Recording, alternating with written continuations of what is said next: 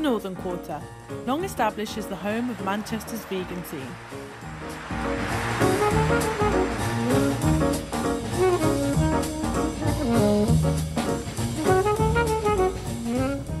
Not only home to trendy craft beer bars and chic coffee shops, this part of town is overflowing with vegan offerings.